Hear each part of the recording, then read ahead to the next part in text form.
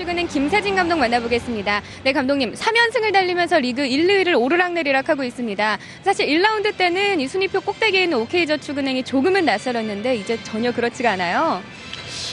제가 낯선 건 왜 그럴까요?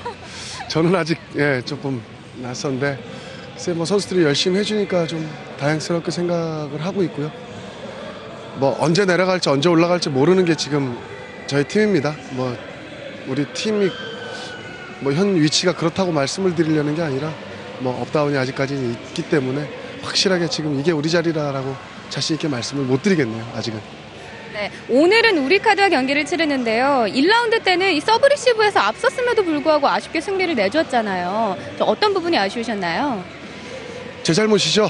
뭐 그 경기 끝나고도 선수들한테 일일이 돌아가면서 제가 내가 잘못했다, 내 판단 미스다라는 얘기를 좀 했고 좀 안일하게 대처한 게 사실입니다. 그리고 역시나 뭐 우리 카드도 지금 뭐 최하위라고 하지만 프로 팀인데다가 한 번 기회를 주면은 분명히 또 차고 올라올 저력이 있기 때문에 어쨌든 저희가 또 유일하게 패한 팀이지 않습니까? 그래서 오늘 같은 경우에는 조금 더 신경 쓰고 나왔어요, 사실.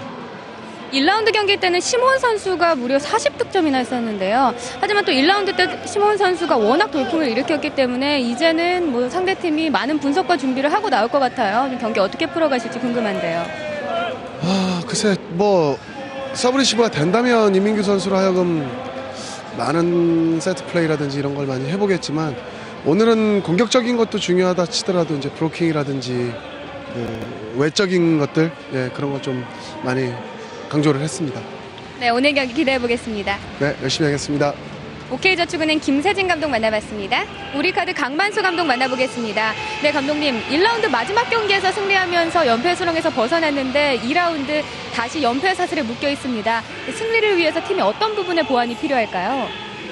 우리 선수들은 120%, 200%를 해야 아, 다른 팀을 잡을 수가 있습니다.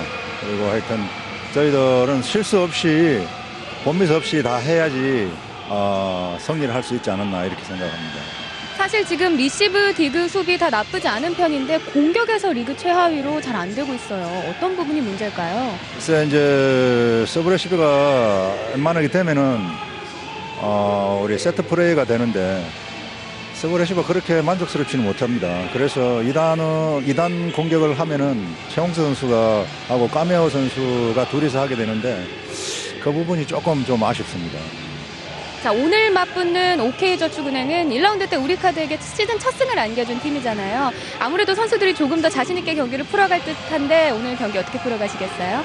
글쎄요, 뭐 저희들은 하여튼 처음에 말씀드렸듯이 한 200% 아, 코드에 쓰러지는 한이 있더라도 최선을 다하면은 또 좋은 성적이 나지 않을까 이렇게 생각합니다. 네, 오늘 경기 기대해 보겠습니다. 네, 감사합니다. 우리 카드 강만수 감독 만나봤습니다. My Sports Channel, SPO TV.